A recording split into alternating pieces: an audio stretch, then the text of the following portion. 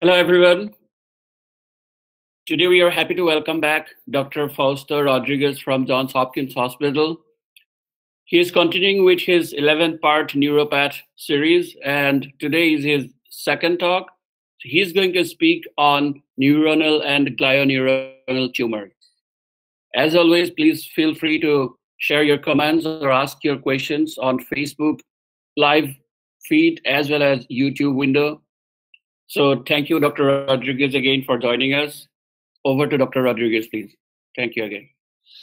All right. Well, it's a pleasure again to be here uh, presenting a, a, a, topic that uh, is uh, uh close to my heart and that uh, is, is varied and is evolving. And uh, and I think I'll hope I can present some illustrative cases that will help you diagnose these tumors in your practice. So uh, this is just to get started. The tumors that are classified as neuronal or glioneuronal in the WHO classification uh, of 2016, the update. So a lot of them have persisted through the years uh, with uh, some uh, very few additions. So these are some of them. I will not present all these cases, but I'll present some illustrative cases that are will fall in this category, so so you are aware. That will be helpful to uh, start some discussions. So these are some of the tumors, and they continue here. These are well-established categories that uh, you see from uh, time to time. Let's get started to the cases that uh, hopefully you have a, you had a chance to see, uh, preview the virtual slides that we shared through different media. Um, the first one is a 32-year-old woman that had an intraventricular mass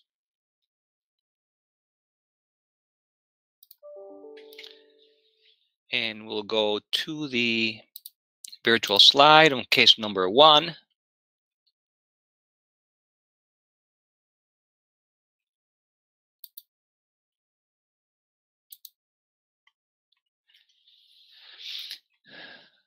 Okay, so you're seeing a tumor right away, you know, is uh, interventricular is calcified. There's a lot of calcifications.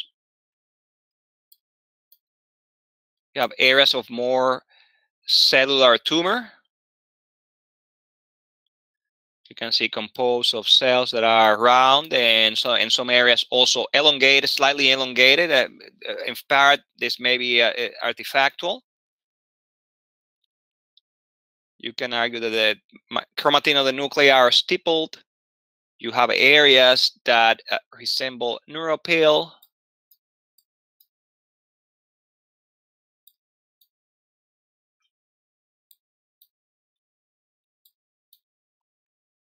more classifications.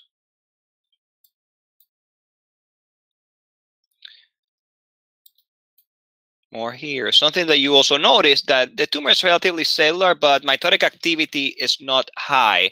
In fact, I, we have had trouble finding even a single mitosis in the fields that I've shown you. So you're probably dealing with something that is favorable. You have some suggestions of a neuronal phenotype, uh, at least on the morphology. Uh, so there there are certain things that that help you uh, in particular with the location to put this tumor in perspective and we'll now go to the neuronal markers.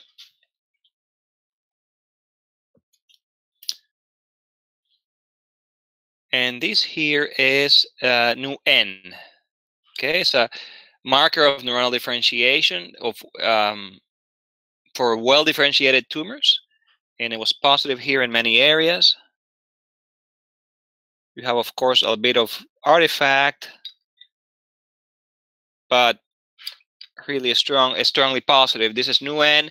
Synaptophysin was also positive. So this is actually a central neurocytoma.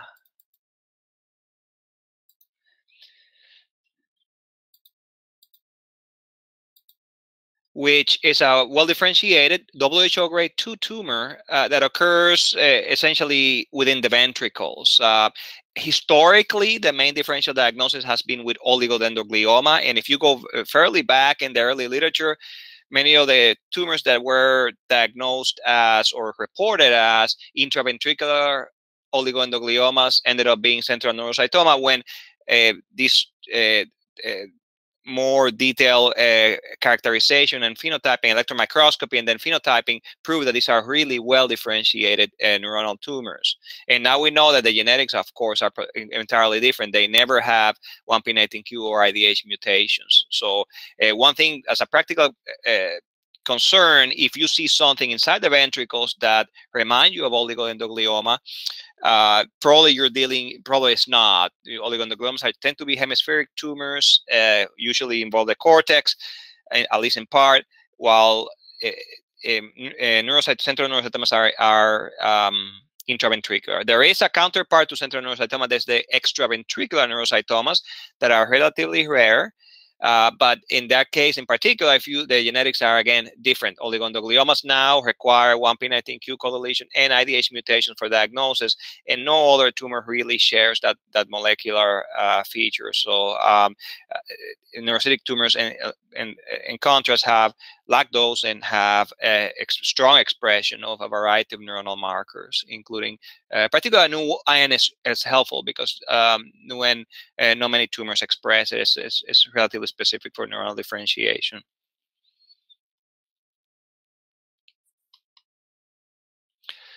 This is usually, the imaging is very helpful. This is an example, another case of, of, central neurocytoma. And you see that's where they occur. They're central, they occur deep in the brain, near the foramen Monro. They tend to be associated with the septum pellucidum.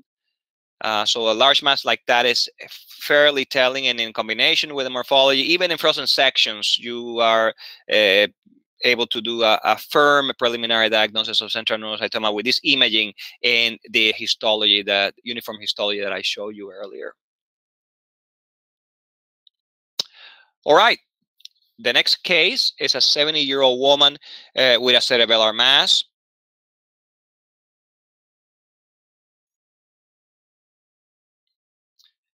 This is the imaging, and actually here the imaging is very, very helpful because this is a T1 and this has no contrast, okay? So you have this bright hyperintensity. There are a few, very few things that give you hyperintensity like this in, um, in uh, uh, pre-contrast MRI. So this is not enhancing. This is just the intrinsic T1 hyperintensity uh, in this tumor that is involved in the cerebellum in an adult. Uh, one of the things that gives you that is actually fat.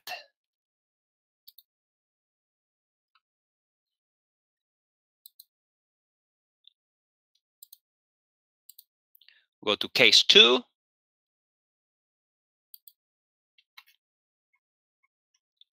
And indeed, in this tumor, you have fat, or at least a adipocytic differentiation. The cells are very similar to the cells that I was showing you in this central neurocytoma, uniform, round, not much for mitotic activity, so you're not concerned about, uh, for example, a medulloblastoma or one of those more aggressive embryonal tumors.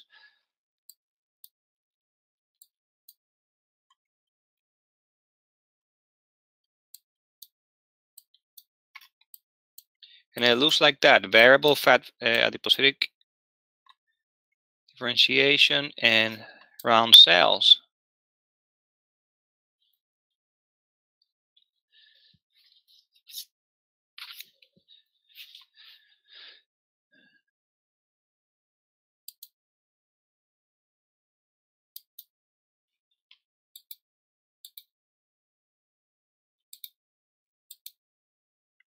And this is synaptophysin. Again, many of these, these neurocytic tumors, they almost all essentially express synaptophysin.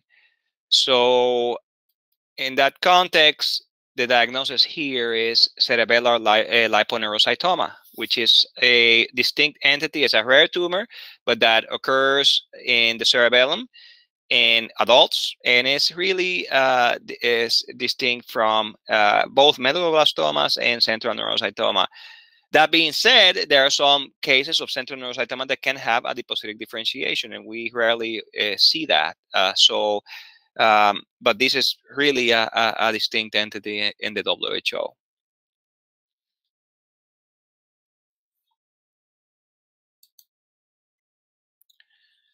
Moving to the next case, 40 year old man with uh, also has uh, this uh, cerebellar mass.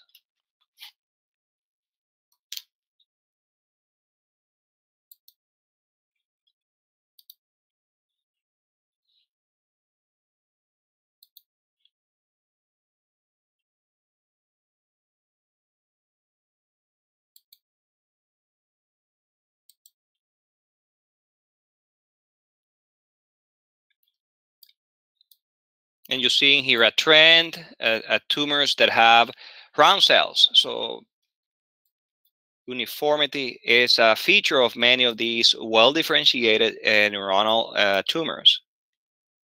And important, the only feature I also want to highlight now is that not everything that has round cells and halos is an oligodendroglioma. You have a variety of tumors that can have round cells with perinuclear halos.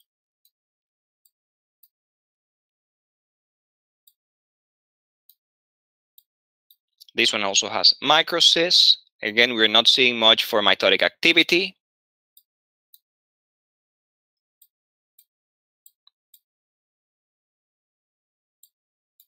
Here you have a fragment of cerebellum, so you know you're in the posterior fossa. Again, oligodendrogliomas usually do not occur in the posterior fossa. There are rare, very rare exceptions, but for the most part, if you're dealing with something that looks like an oligo but is in the posterior fossa or is interventricular, probably you're dealing with something else. Something to always have in mind. Some hyalinized vessels uh, in areas.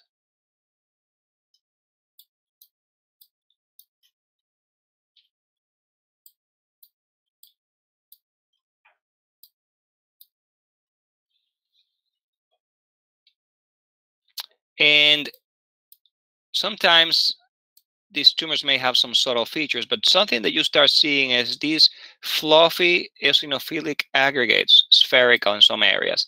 Some of it is in this in the substance of the tumor, some of it you can see it around vessels. Okay? This type, this is real. This is also neuropil differentiation or a neuronal. It's another feature reflective of neuronal differentiation is neuropil in the form of uh, small rosettes, bland tumor, posterior fossa.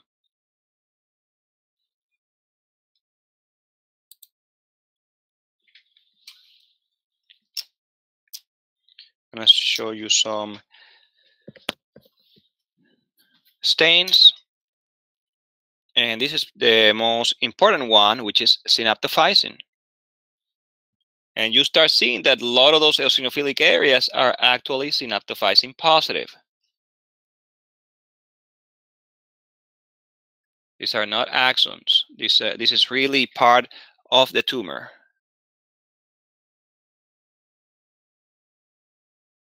Uh, you see a lot of it is deposited around vessels and also in spherical areas.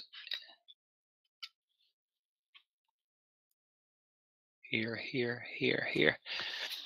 And most, a lot of the cells actually, even though this is a neuronal tumor, they don't express it to any, uh, it's not very strong. It's almost always limited to those uh, actual rosettes and better area here. You can see that. That's very characteristic of this tumor. Relatively small rosettes and many in a perivascular distribution.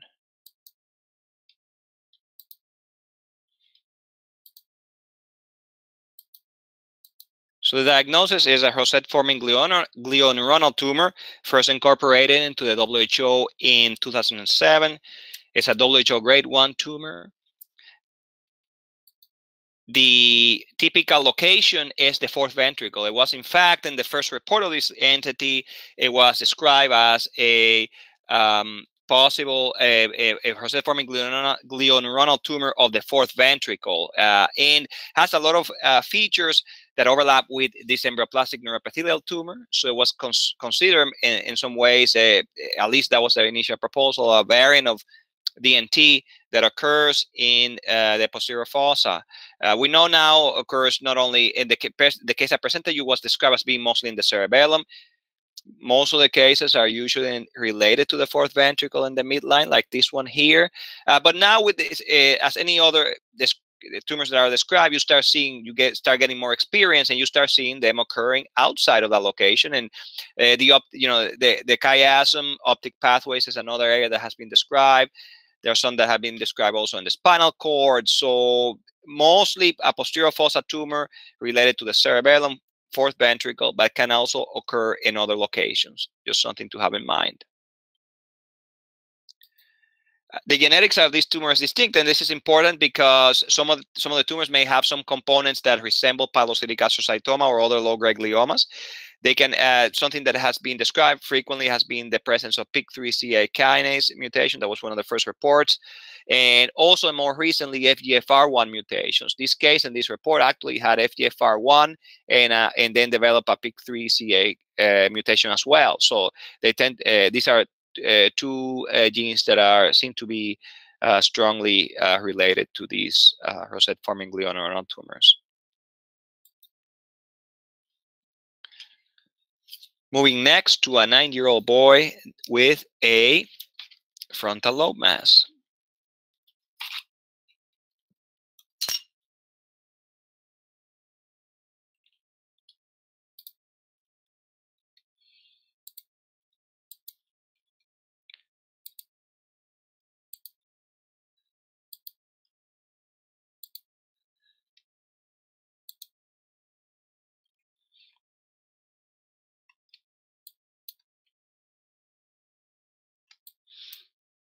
Another well-differentiated tumor, round cells. Although you tend to see here a bit more uh, variability in some cells that actually have more cytoplasm that resemble astrocytes.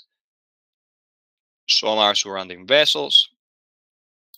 You move around here. A lot of involvement of the parenchyma. Here, more round cells with some of with, with halos.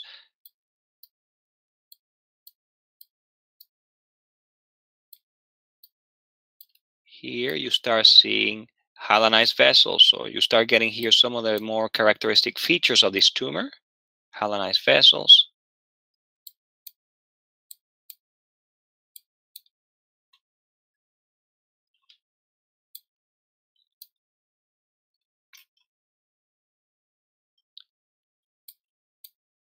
in a papillary or pseudo-papillary architecture. Right here. Right here. Slightly hyalinized. And if you look closely, you can almost gather that there is a dual tumor population. You have these cells that are eosinophilic eh, surrounding the vessels that are slightly different morphologically to, to the interpapillary cells, particularly if you move around here you start seeing there's somewhat different histologically. It's low grade. This tumor is low grade, and you see there, we again, we're not seeing even a single mitosis in all these uh, fields. Some areas are pseudopapillary, some are start forming more papilla that, that break off.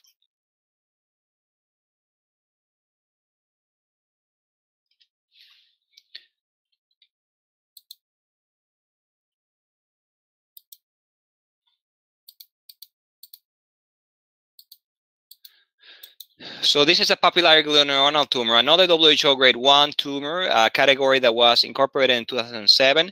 Uh, I wanted to show you these two tumors side by side because they frequently uh, get mistaken for each other. They are both WHO grade 1 tumors. As you notice, the uh, clinical is different. This is another example showing you that frequently they tend to be supratentorial in contrast to rosette-forming glioneuronal tumor that is in the fourth ventricle. They tend to uh, make cystic masses well circumscribed. Sometimes they can have a, an enhancing uh, nodule. So cysts with mural nodule configuration, you can see them. Uh, so they tend to present as very uh, benign appearing masses on the scans. That's helpful also because they, some of them can be slightly more cellular. Uh, what is distinctive about this, and I unfortunately I didn't have the stains for that particular case, but this is another case in which I can show you. It's important to know this pattern. You have these uh, it's a it's a biphasic tumor with a perivascular uh, layer of astrocytes that are GFAP positive and an interpapillary areas that are synaptophysin synaptophysin positive. So they are kind of mirror images of each other. So this is a, a true glioneuronal tumor, relatively rare, again, supratentorial, WHO grade 1. This is another tumor now that with enhanced uh, uh, molecular techniques, we know that it's a distinct entity. And actually, there was a fusion uh, reported by Dr. Uh, Bridge and McComb uh, a, a, few years back, in which they found this, this actually cytogenetic alteration, NI17 translocation in some tumors, with uh, that was proven to have these uh, LC SLC44A1 PRKCA fusion and that has been validated since then in, in, in larger series, uh, showing that this, in fact, they, these tumors have a, a different methylation profile and fusions involving, in particular, this gene PRKCA. So the diagnosis is mostly histological, but if you do a lot of sequencing in your practice, uh, you'll be able to also uh, pick up uh, some of these tumors. And of course, these have uh, therapeutic implications.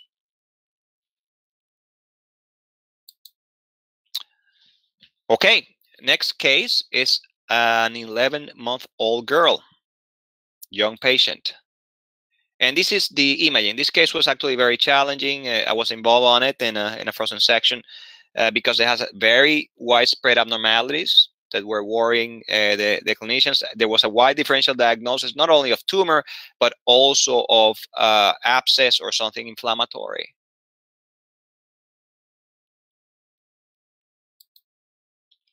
Very scary looking image there.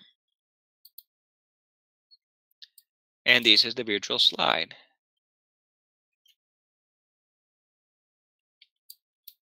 In contrast to the tumors that I've been see, uh, showing you, this is a more cellular tumor, right? And it has a more, it's composed of mostly spindle cells. A lot of collagen deposition,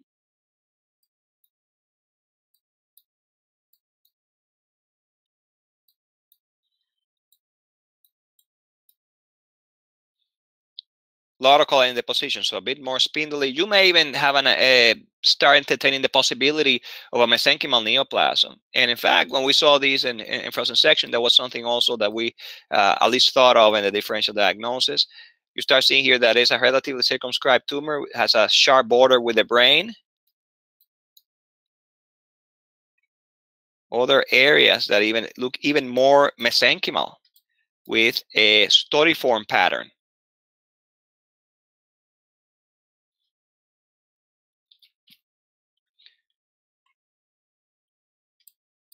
Now, if you look closely, you start seeing also some cells that actually have a, a prominent nucleoli and they tend to look like small neurons or ganglion cells. These are not necessarily well-formed ganglion cells, but ganglioids, sometimes we call them. They're smaller. So you now start having a suggestion of some things that look more like astrocytes. Not much for mitotic activity in this field,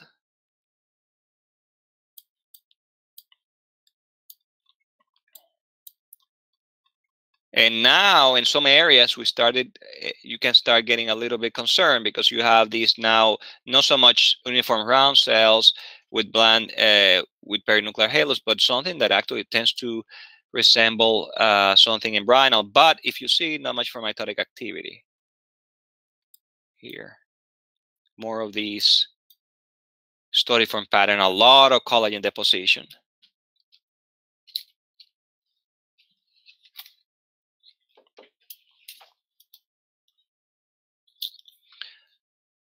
So we'll go into the scope now.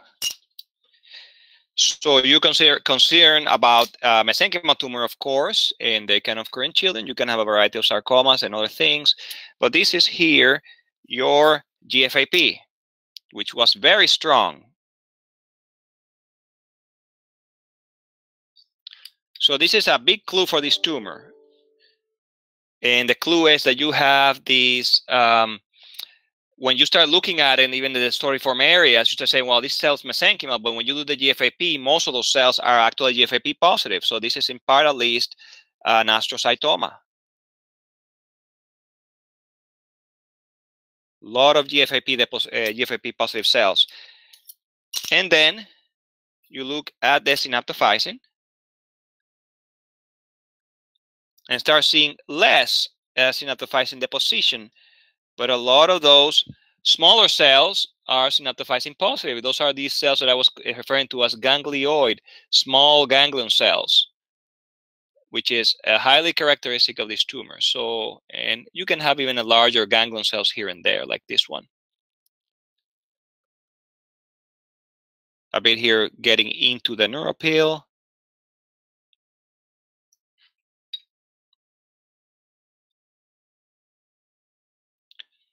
More ganglion cells here.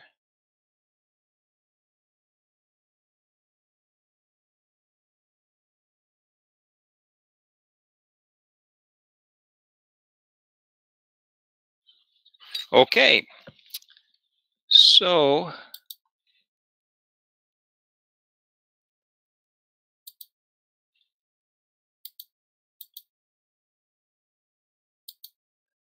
The diagnosis here is desmoplastic infantile ganglioglioma. It's a tumor that uh, has been recognized for actually a number of decades now. Very low grade, tends to occur in very young patients, and um, it's a WHO grade one. Despite those being presenting as large masses, uh, oftentimes they tend to do very well. They tend to be very well behaved tumors. I, I you a field there also that I wanted to uh, for you to have in mind, which was that uh, a round cell component. You can have areas that resemble an embryonal tumor or resemble even a, a glioblastoma or a high grade astrocytoma.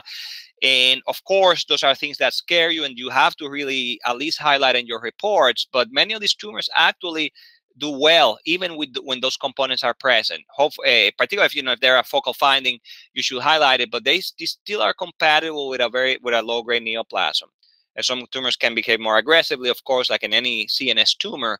But having areas that are scary like those should not dissuade you from this diagnosis and for identification of these tumors as uh, a more uh, favorable tumor, actually, to have than many other things that you'll see in the CNS is biphasic. The ganglion cells many times are small and can be actually almost entirely absent. So there is still a category recognized as desmoplastic infantile astrocytoma when you don't see the ganglion cell component.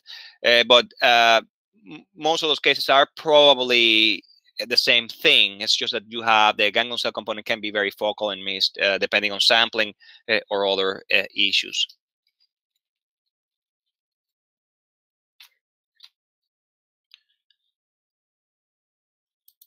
Moving to the next case 20 year old man with seizures and a cortical mass.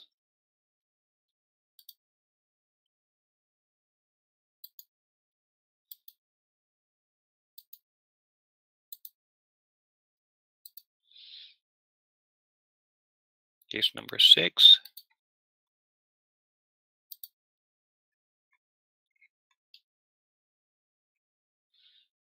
Okay, again, low-grade neoplasm. You have really a theme here.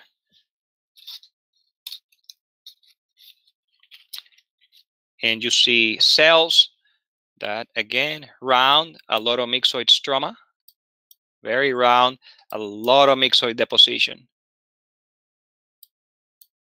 Relatively well circumscribed in some ways. You have here brain parenchyma that is not involved, and more of this tumor here, composed of these round cells.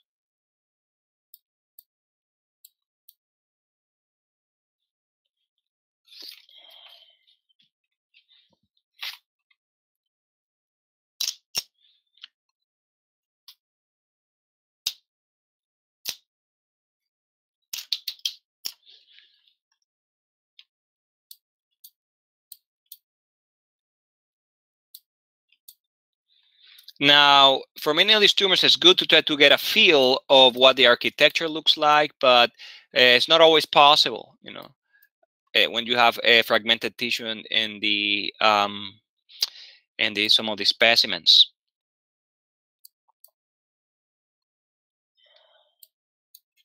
Calcifications. Again, calcifications are common in many tumors. Uh, it's not. Uh, you can see it in many different contexts.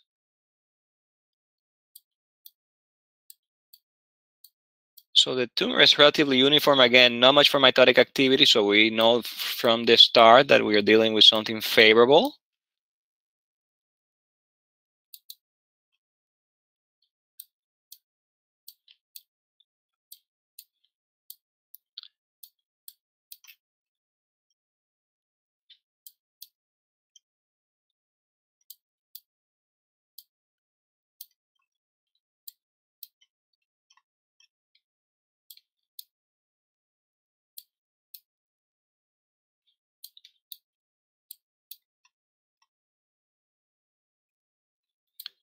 Lot of round cells, lot of microcysts.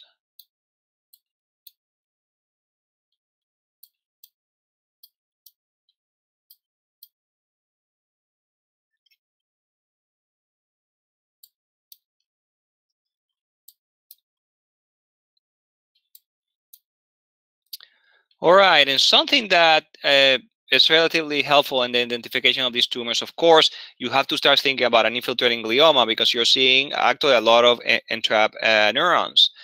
Now, oligodendrogliomas have a feature that is very highly characteristic, which is perineuronal satellitosis. So every time you have involvement of the cortex, you have a lot of cells that are actually uh, surrounding the neurons. And this tumor, something that you you tend to see is that actually the neurons tend, uh, tend to be spared. You don't have a significant degree of satellitosis, and sometimes you can even envision that they are uh, in within mucin lakes or myxoid with myxoid uh, changes. So these are sometimes referred as floating neurons and that is one feature that is uh, characteristic of this tumor. Of course, you, you want to have a combination of features, but this is something that tends to favor uh, this particular diagnosis over that of uh, oligodendroglioma. You here start seeing a bit of tissue hyalinization, chronicity, again, not much for mitotic activity. We can move on the stains now.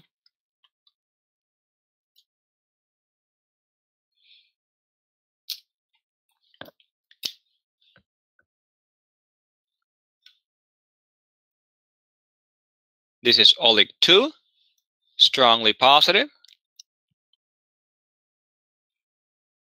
in these round cells. OLIG2 is a very useful stain for us in the CNS. Uh, we use it uh, we use it as a glial marker, but it actually highlights many of the uh, glioneuronal tumors that we have uh, been discussing.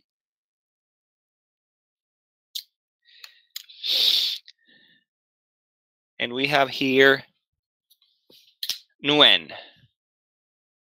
which is actually negative in these uh, small round cells, so they are not neurocytes necessarily, but it's helpful in highlighting the extent of cortical involvement and telling you that there's some organization to it, and therefore most of these neurons that you're seeing in this uh, case are represent probably entrapped neurons.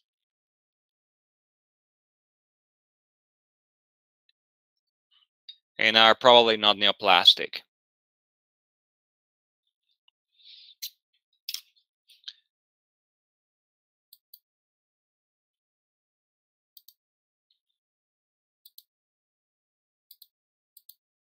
So the diagnosis in this case is a embryoplastic neuroepithelial tumor. A lot of features of it, uh, the, all the, the architectural features were not well evident here. That's why in this uh, tumor type in particular, the clinical presentation and the imaging is very helpful because some the, many of these tissues uh, tumors uh, come fragmented like in this case and it's difficult to tell the nodularity and the architectural features are very key to the diagnosis of this tumor so what is a DNT? It's a WHO grade 1 tumor that is cortically based, usually associated with chronic seizures. Remember that any tumor in the CNS can give you seizures. Uh, is, is one of the manifestation, uh, but chronic seizures, epilepsy, uh, is a bit more helpful in suggesting this particular diagnosis. It's a tumor of young people. Uh, uh most patients are under 20 years of age. Uh, there have been other controversial uh, forms like non-specific that have been suggested in the past that have a lot of overlapping features with other glial tumors like pilocytics, etc.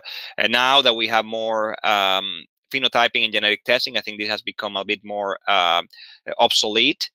And they also can be associated with dysplastic cortex, and in some series you can see a high uh, frequency of uh, coexisting cortical dysplasia. This is what your typical DNT looks like. It's usually a cortical-based lesion. The temporal lobe is favored, and you have this little bubbly appearance in, in the imaging. This is T2, little nodules here confined to the cortex. That's highly characteristic of this tumor.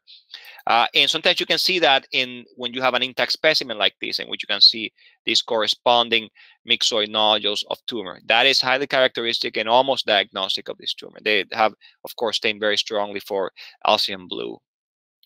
Well-behaved tumor almost never uh, transforms to malignancy, they can be managed either followed or actually, if they are symptomatic for epilepsy, they they they can be resected. But they uh, are almost never uh, transformed to higher grades. There are exceptional cases out there in the literature, but that is really, for practical purposes, one of the most uh, indolent and, and bland tumors that you'll see in the CNS.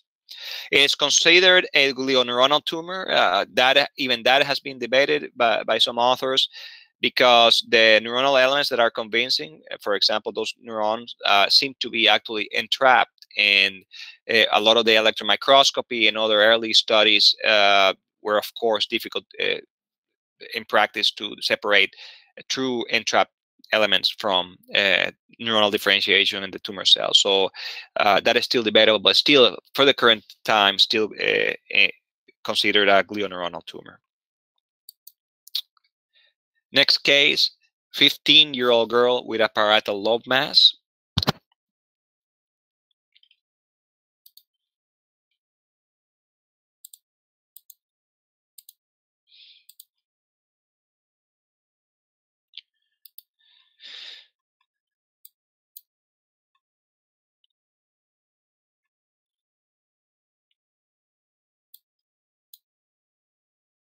Another tumor that we're seeing here that is relatively monotonous.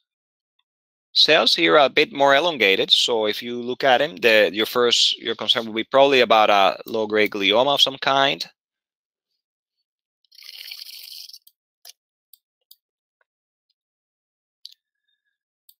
Now you move around.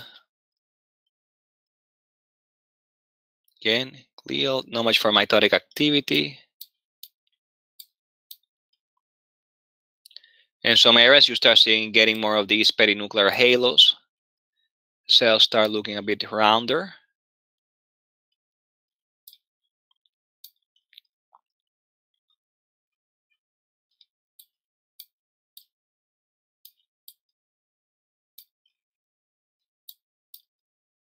Rounder and almost oligodendroglial-like.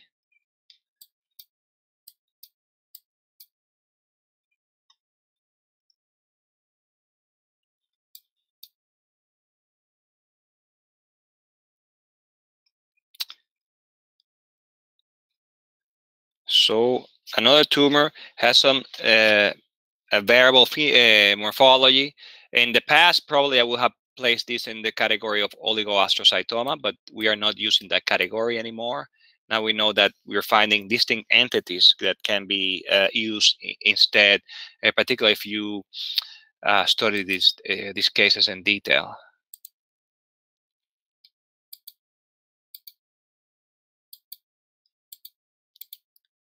So actually, this tumor was uh, interpreted as low-grade neuroepithelial tumor consistent with polymorphous low-grade neuroepithelial tumor of the young. And you see, this is not technically considered a glioneuronal tumor, but this is another term that you're seeing in the context of many of these tumors that fall under this rubric is neuroepithelial. Basically, uh, these are tumors that we uh, postulate that they derive, you know, for components of the neural tube. So they are not technically classic glial tumors. They don't have the mm, sometimes convincing uh, neuronal phenotype that will place it into a specific category. So sometimes uh, you do that. Now, polymorphous low-grade uh, neuroepithelial tumor has uh, quite a few distinct uh, uh, features.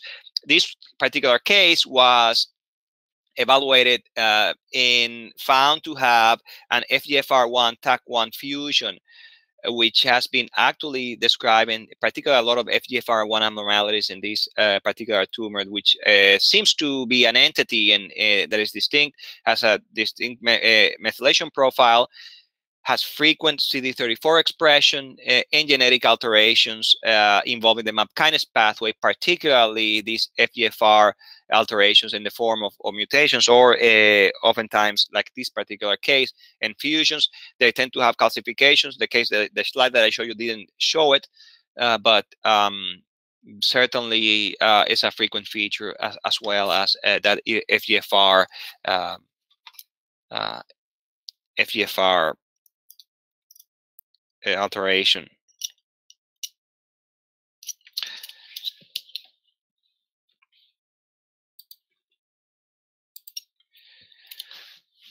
This is another case uh, that actually I saw and I think represents this entity as well that has actually has more of the typical calcifications variable morphology very low grade very hypercellular in areas. Has areas that look a bit more astrocytic.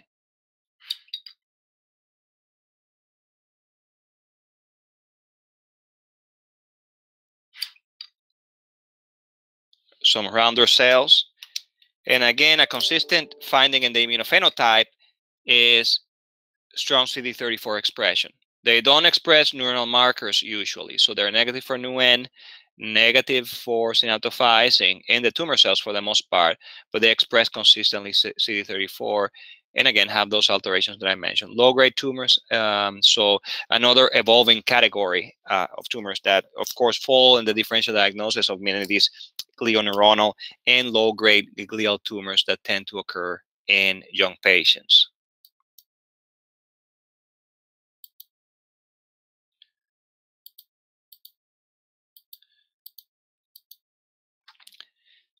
Now moving to the spinal cord. The spinal cord is another place where you can see uh, glioneuronal tumors and uh, some of them are circumscribed, easy to resect. Some of them you may get small biopsies, so it's, it's good to, to have this uh, in mind when you're evaluating spinal cord lesions.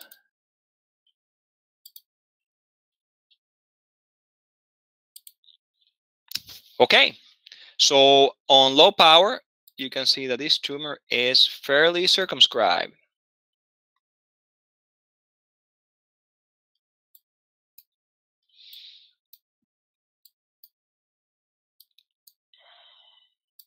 Very fairly circumscribed, which is a reassuring finding.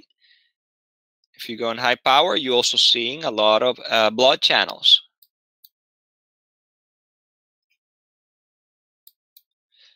You can argue there's a slight space between uh, the tumor cells and the vessels, but it really doesn't quite look like the fine fibrillary process of ependymoma. Now, I tell you, this tumor gets many times, it's relatively rare in at this location, but uh, happens, and it gets mistaken for, for a ependymoma. That's a frequent, uh, not a, it's, a question that we get from time to time in the in the consultation service and that this gets well it looks like an ependymoma but it's not classic and of course you do the stains and uh, you uh, oftentimes find clues for the diagnosis.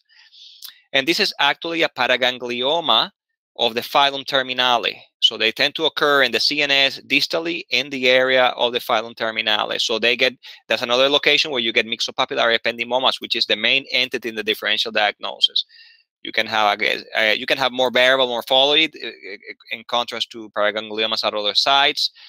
Many of these actually have ganglion cell differentiation, which also can uh, compound the problem, but they uniformly express neuronal markers, synaptophysin, chromogranin, and they don't uh, express glial markers uh, or EMA. So those are that's something that is very helpful when you see it. Well circumscribed, well behaved tumors at that, at that location. Something also that is a characteristic of these tumors is that they frequently express keratins. So, uh, which uh, I know we use it sometimes in other areas of surgical pathology uh, to differentiate neuroendocrine tumors like uh, carcinoids or low-grade neuroendocrine carcinomas from paragangliomas by using expression of keratins as something that may differentiate them. In the CNS, keratin expression by paraganglioma is actually relatively frequent and still uh, can be associated with a WHO grade 1 tumor which is uh, paraganglioma. Well circumscribed, and sometimes you get these really intact specimens because they are distal and associated with the filum.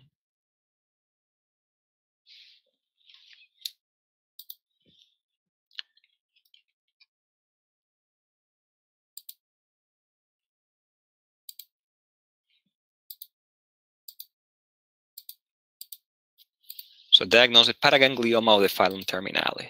Next case, 35-year-old man with a spinal cord mass.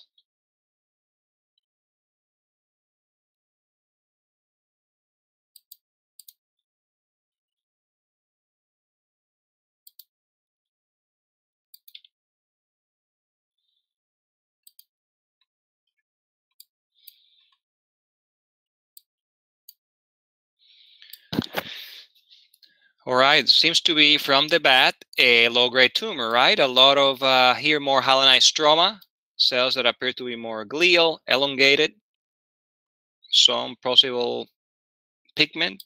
like to say that some of it may be melanin, some of it may be um, hemosiderin deposition.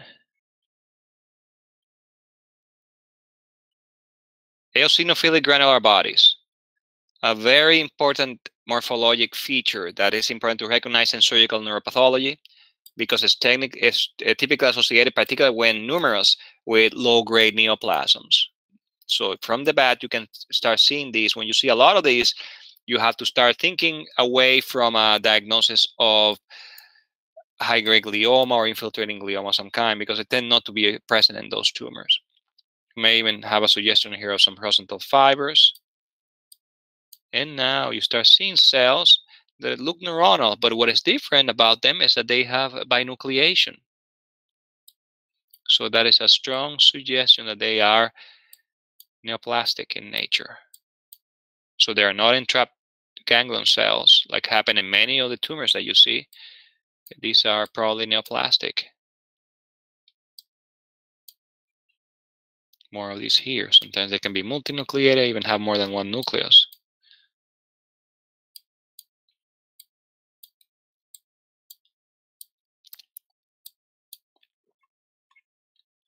Another binucleated ganglion cell.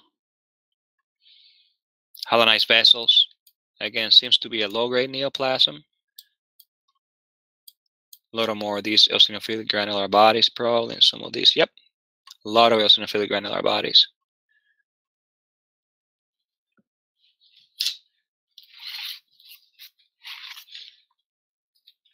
See, I may have some stains as well.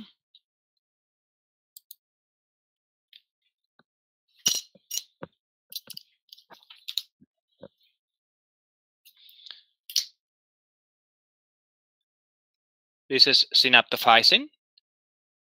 Of course, synaptophysin is very sensitive for neuronal differentiation. Sometimes it's difficult to interpret because it stains a lot of the entrapped neuropil. Uh, but here we are seeing quite a few stain, area staining.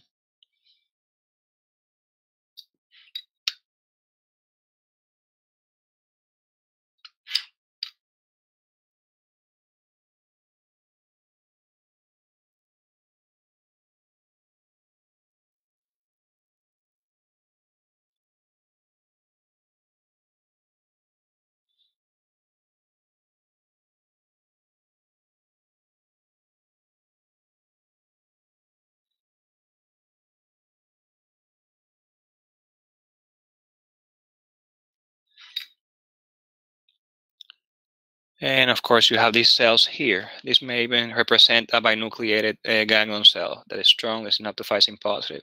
Oftentimes in ganglioma, the synaptophysin is pericardial, so it's in the surface of the cell.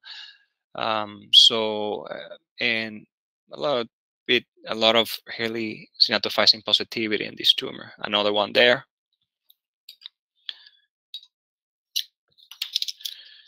Let's see what else we have for stains. Ki67, low, that goes with the low grade nature of this tumor. So gangliomas can occur in the spinal cord. It's something to have in mind, and that um, sometimes you can have, of course, uh, gliomas tend to be more more common, but you really have to have in mind that gangliomas can occur in many places in the in the uh, central nervous system. They tend to be uh, the temporal lobe is uh, favored as a location for gangliomas, but again, they can occur in many different places. And uh, something else to have in mind is that you can have a variety of tumors that show ganglion cell differentiation. We're recognizing those more now, but if you have a dominant clustering of abnormal ganglion cells with a low-grade glial component, most of the time you can get by calling these uh, gangliomas. So ganglioma of the spinal cord. The last case is going to be uh, six month old with multiple lesions. And I shared with you a slide that is actually an autopsy slide. So, but it was a very illustrative of, of this tumor type, and I wanted to share it with you.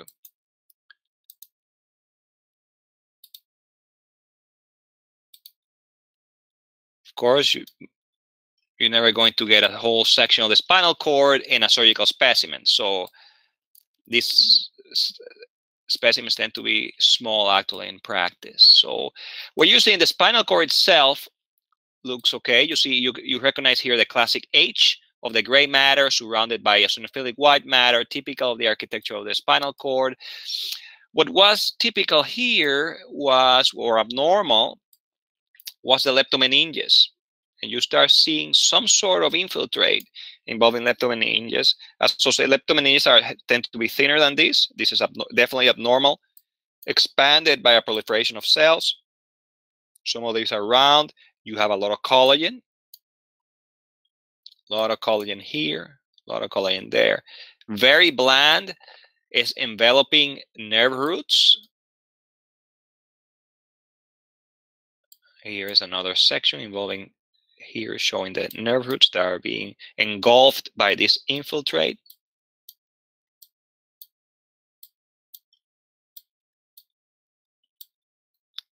And all levels of this section here. You can see here Many of the cells are round and bubbly. Oftentimes, uh, these are small biopsies. The clinical presentation, we, we are dealing with a process that is actually disseminating in the leptomeninges. And many of these patients uh, come with slowly evolving symptoms for a long time.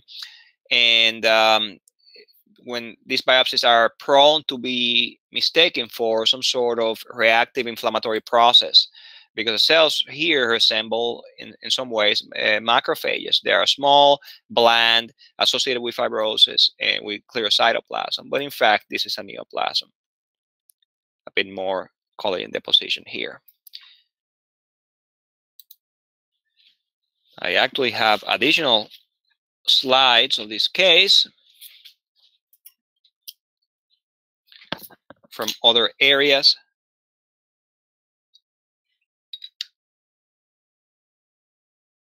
This is actually the cerebellum. Showing you a, a lot of dissemination. Again, very thickened leptomeninges.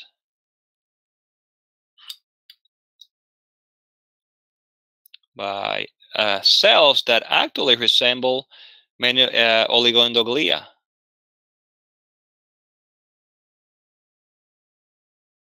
So it's actually disseminated in the spine, uh, around the spinal cord, and also in the intracranial compartment.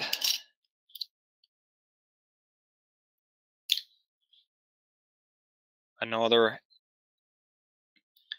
area of uh, cerebrum with these round cells. Here start getting a little bit more cellular and more evident that this is a tumor.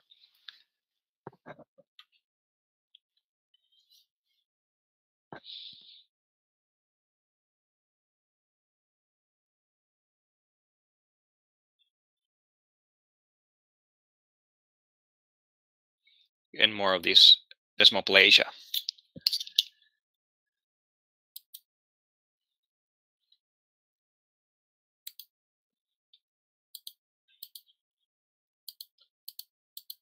So actually, the diagnosis here is a disseminated leptomeningeal glioneuronal tumor. As the name implies, it's disseminated. Many of these tumors really disseminate in the in the CNS.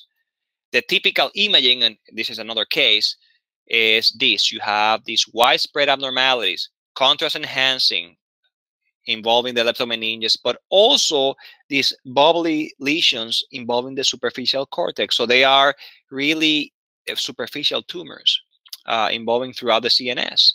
Uh, oftentimes, you have a small parenchymal uh, lesion that can be the putative primary, uh, but we also have seen cases in which you can uh, have re-entry into the CNS and causing more uh, multifocal lesions. So it's a disseminated process, very low grade for the most part. These many of these patients can actually live decades with really widespread abnormalities. So indolent tumor, but widespread problem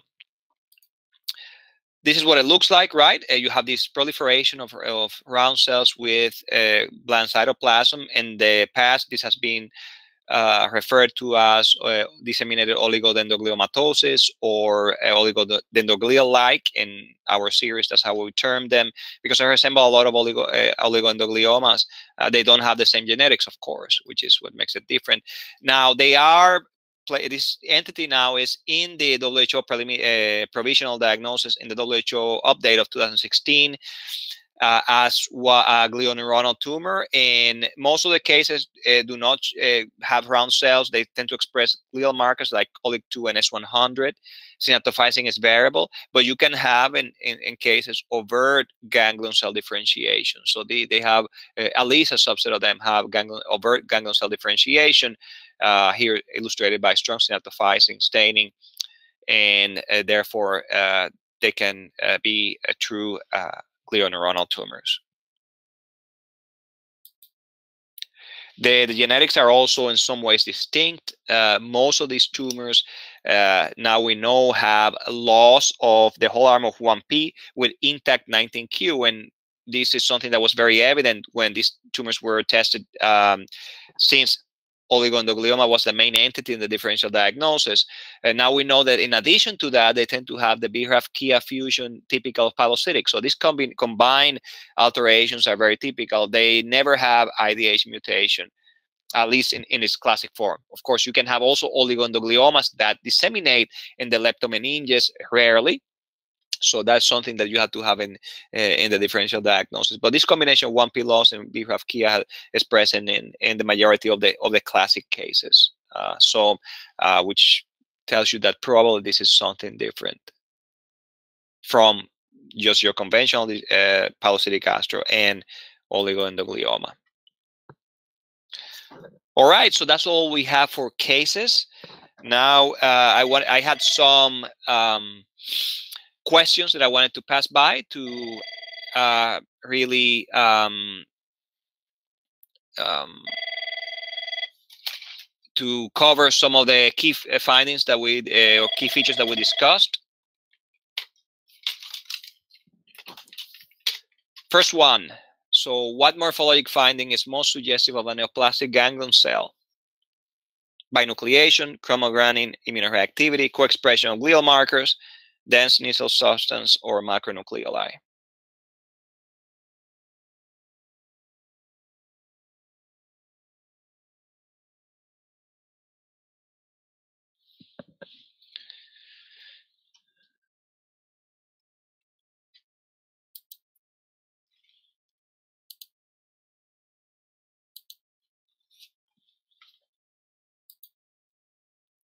The answer is A, binucleation if you see uh, binucleation is very rare in uh, normal uh, neurons, you can have reactive changes in normal neurons. Uh, sometimes they can look even funny when you have an infiltrate of a glial tumor, for example.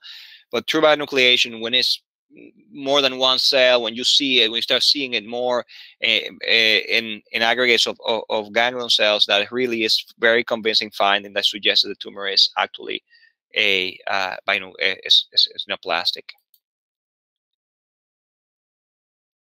Second question, papillary glioma tumor is characterized by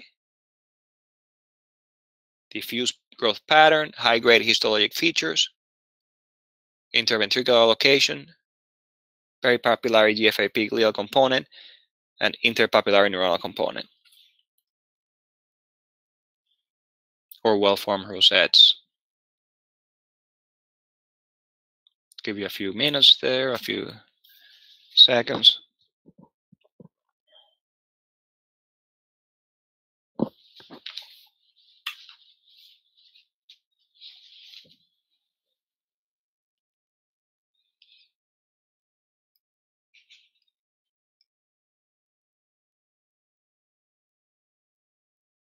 We got answers like D coming. D. Oh. D as in dog? Yep. Okay, and that's correct. So that is really what characterizes this tumor in its uh, original description. Uh, it has it's a biphasic tumor that has this perivascular glial component uh, that is uh, and also a neuronal component in the interpapillary areas. Resemble neurocytes uh, as well. They can have also areas that resemble pilocytic. They can sometimes have ganglion cells, but this is really what is distinct about this tumor. Next case, desmoplastic infantile ganglioglioma typically presents uh, with a diffuse pattern of growth in intraventricular locations, young patients, small intracortical in the form of small intracortical nodules, or with leptomeningeal dissemination.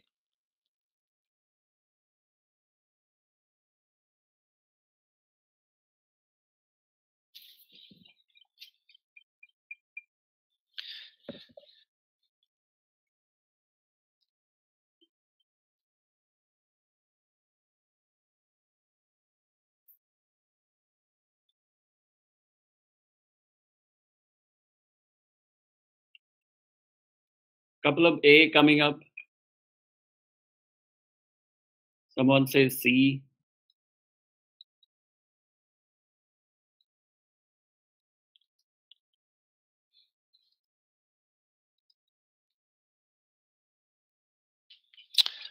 All right, and the answer is actually C. Uh, these tumors used typically they're well circumscribed tumors, even though they're large and develop in, in very young patients. Um, so that's something that's many times a clue. When you have a large hemispheric cystic mass in a child, that's one of the main, the first thing that you you, you have to really uh, think about. They tend to be hemispheric rather than interventricular, uh, and they usually uh, do not disseminate. These are well-behaved tumors for the most part.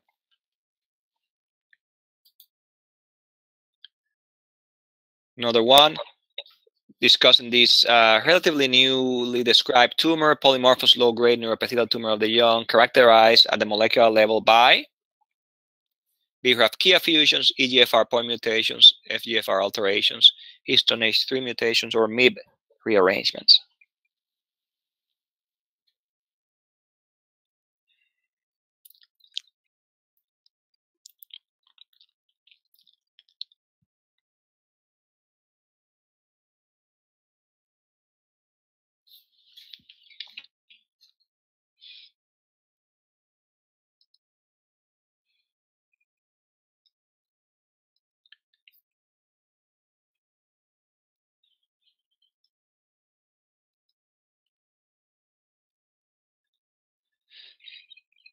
Someone okay. C.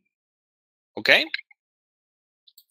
And in fact, C is the right uh, answer. So FGFR alterations are uh, typical uh, uh, of these tumors. They have MAP in, in global. You can have other MAP kinase pathway activating alterations. They never have BRAF KIA. That's typical, as I mentioned, of pilocytic astrocytomas and of these uh, diffuse uh, leptomeningeal, glioneuronal tumor, but they are not typical of these uh, PLNTYs. Um, they can have BRAF V6 on occasion, but uh, for the most part, FGFR alteration, either fusions with TACC or point mutations, are have been described in many of these uh, tumors.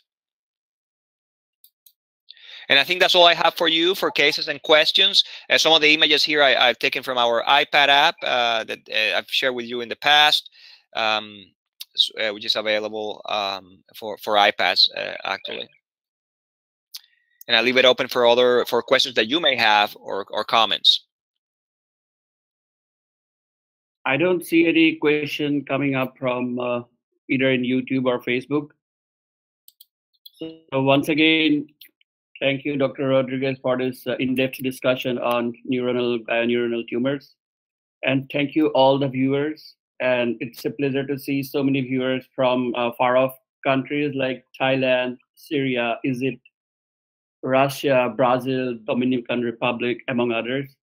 And as always, uh, feel free to follow our Facebook page that is Pathcast and also subscribe to our YouTube channel. And please, uh, you can uh, subscribe to our newsletter, which is available on our website, pathologycast.com. So Dr. Rodriguez's uh, third lecture in the series is coming up on April 30th, so, and he will be covering meningiomas. Also, stay tuned to our next podcast, which is uh, on liver pathology. That is on uh, April 12th. And this will be presented by Dr. Emma Furth from University of Pennsylvania. So this will be the first of our two-part series. She's going to uh, talk on learning to love the liver logically. Thank you again, Dr. Rodriguez, and thanks everyone. Thanks very much for all your participation, and uh, see you next month.